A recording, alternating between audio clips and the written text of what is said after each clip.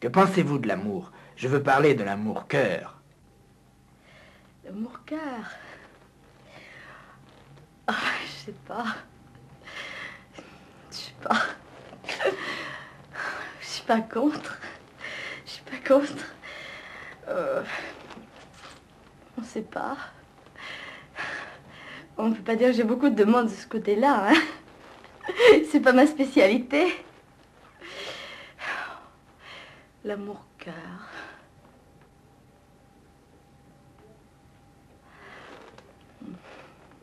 Je sais pas. Je sais pas. Je suis pas contre. Je suis pas contre, mais j'ai... Je sais pas. On sait pas, je suis appelée à rencontrer du monde. Hein. Forcément. Naturellement, vous l'avez reconnu, il s'agit de Sophie Daumier, interrogée par Guy Bedos, telle qu'elle se présentait dans le film qu'il a révélé, Dragée au poivre, de Jacques Baratier, où elle jouait une dame de petite vertu. Rassurez-vous tout de suite, au naturel, je crois quand même, elle est un petit peu différente. Ah oui. Sophie Daumier, avez-vous ou avez-vous eu l'impression d'être une starlette? Je ne sais pas ce que c'est. ah, Justement, je voulais vous le demander. Non, je me suis jamais sentie starlette. Vous n'avez jamais rencontré une starlette dans votre vie? Qu'est-ce que c'est pour vous, une starlette? Oh, ben, Une starlette, c'est une, une, comédienne qui débute et qui n'a pas encore eu de, chance véritable, je crois, et qui attend euh, impatiemment. Est-ce que c'est pas une débutante qui n'est pas comédienne? Oh, pas forcément, non. Quelquefois, une starlette, c'est une jolie fille euh, qui, qui, attend un rôle. Alors, vous en avez qui, qui ont du talent et vous en avez qui n'en ont pas, mais on le sait plus tard. Qu'est-ce qu'on peut reprocher à une starlette? Je vois pas pourquoi on reprocherait plus à une starlette parce qu'elle est débutante qu'à une comédienne parce qu'elle a pu donner des, des, preuves. Si une starlette fait des bêtises, qu'elle a des excuses à votre avis? Quel genre de bêtises? Qu'elle se conduise, qu'elle cherche un scandale, euh, qu'elle accepte certaines photos, qu'elle euh, provoque en bah, Je crois euh, que la, plus, la plupart des gens lui pardonnent si elle a du talent, je crois. Oui. Et vous croyez que ça peut aider euh, que les gens sachent qu'elles ont du talent. Si on fait un scandale, vous croyez que c'est important?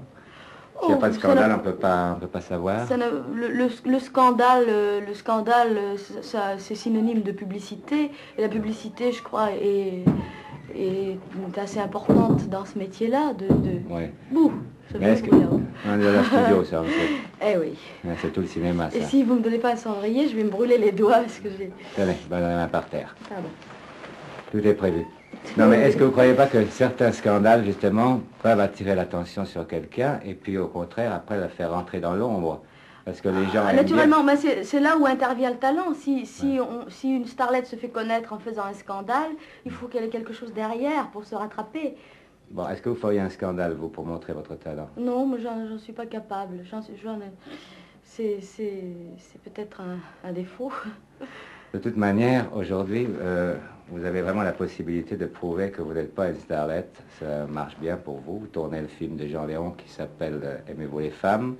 Jean Léon était l'ancien assistant d'Alain René, c'est son premier grand film. Et derrière, vous faites un film avec Christian Jacques, qui n'en est pas à ses débuts, si je suis bien renseigné, et qui s'appelle Le repas des fauves. Pour vous, est-ce que c'est une bataille qui se prépare? Chaque film est une bataille. Oui, c'est une belle, phrase. Mais je veux dire, en, vous-même, est-ce que vous vous dites, euh, c'est maintenant ma chance ou jamais, et si je rate ça, après, ça risque de, me faire perdre du bah, temps? Je vous assure, je me dis ça chaque fois que je fais quelque chose, mais depuis peu de temps. Justement, à une, période où j'étais plus jeune, je me... J'avais une espèce d'inconscience qui me, qui me faisait faire n'importe quoi. Et euh, maintenant, je, sais que chaque fois, c'est une, une vraie bataille. Oui, vous m'avez parlé une fois de votre grand-père, pourquoi? Ah, parce que euh, c'était un... Mon grand-père, c'est le monsieur qui m'a élevé. C'est un monsieur très original, euh, très philosophe. C'est un type formidable, très philosophe. Il m'a élevé, paraît-il, enfin, euh, au dire du reste de ma famille, paraît-il, très mal. J'ai été très mal élevée. Mm. Mais j'ai l'impression qu'il m'a, au lieu de m'apprendre le reste, il m'a appris la vie. Il, il était bon, il était... c'est difficile d'exprimer tout, ce- tout Non, ce vous que mon grand-père bien. était. Et c'est- c'est c'est lui, en somme, qui a favorisé euh, votre carrière, à votre avis? Ah, mais lui était euh, dans, dans le village où il habitait, qui était un petit pays de la Haute-Loire, qui s'appelle Issingeau, où j'ai été élevée jusqu'à 12 ans. Euh, il, il faisait pas grand-chose, à vrai dire. Il, il- Il il vous avait élevait, plutôt, il avait plutôt des violons à part d'être président de- du boulodrome.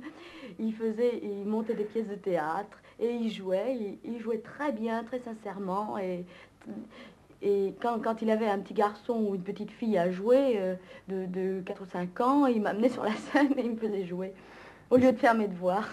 Sophie, euh, comment est-ce qu'on fait pour ne pas ressembler à Brigitte Bardot quand on lui ressemble? Ben, on fait rien. Au début, j'ai essayé de faire quelque chose. Je me suis massacrée complètement. Est-ce que vous cherchez à l'imiter Décidément, maintenant, j'y renonce et, et j'essaie de m'arranger le mieux possible à mon avantage. Et comme euh, elle essaie peut-être de s'arranger aussi à son avantage, qu'on a un petit peu le... euh, Tâchez de pas avoir le même avantage, quoi. Mais est-ce qu'au début, vous cherchez à, à l'imiter? Mais non, parce que au début, oui, on me parlait beaucoup d'elle. On me disait, oh, vous c'est Bardot. Alors, ça m'agaçait.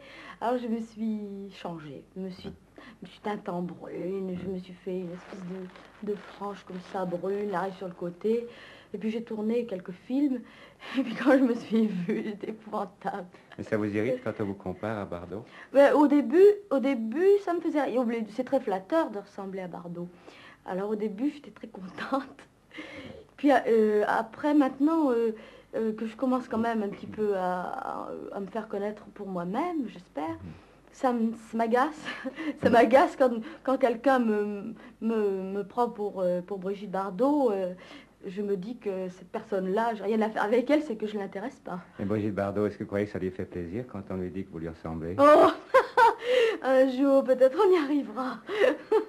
Vous voudriez être quoi? Une grande brune, un peu maigre, qui joue avec Bertolt Brecht en stéréophonie Ah. c'est pas mon genre. Moi, c'est pas si facile d'être... pas du tout. c'est- c'est- Oui, pour, trouver ce qu'on va être quand on sera vieille, c'est compliqué. hein. Mais enfin, j'espère, j'espère me maintenir bien et Mhm. maintenir surtout une espèce de drôlerie. Me prenez votre temps. Mais de fond, c'est- vous n'avez pas choisi un rôle tellement facile, parce que c'est pas tellement facile d'être une jolie petite personne, euh, Non, c'est pas facile. les colorés, il y a beaucoup de, con- beaucoup de concurrence. Comment est-ce que vous faites pour lutter? Mais je fais, pour lutter, je fais pas grand-chose. Enfin, je choisis des rôles qui, que, que, que, que je sens bien, qui sont justement pas des petites filles, euh, Mhm. pas des petites, euh, Pas des petites blondes pas des décolorées. petites ingénues, parce que d'abord les ingénues c'est pas mon, c'est pas le genre de rôle que je dois jouer.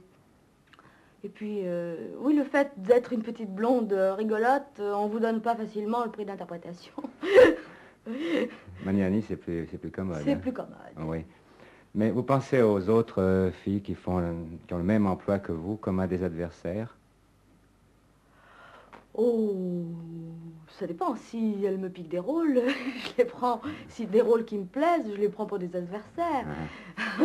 Qu'est-ce que vous pourriez faire pour obtenir un rôle? Seriez capable de quoi Pour obtenir un rôle qui Un me rôle plaît, qui vous plaît oh, je suis pas capable de faire grand-chose. Je téléphonerai euh, au metteur en scène ou, ou un metteur en scène qui, qui, qui me, avec qui j'aurais plaisir à tourner. Et j'y vois aucune honte à, à avoir envie de, de jouer un rôle. Dites-moi ce que vous ne feriez pas pour avoir un rôle. Tellement de choses. on a du temps, on peut. Allons-y, allons-y, allons-y. Je sais pas ce que je ferais pas. euh, énormément de choses. euh. Attendez. Ah Ah, je vois ce que vous... Non. Non Non. Non. Ah, non. Oui Non. Non,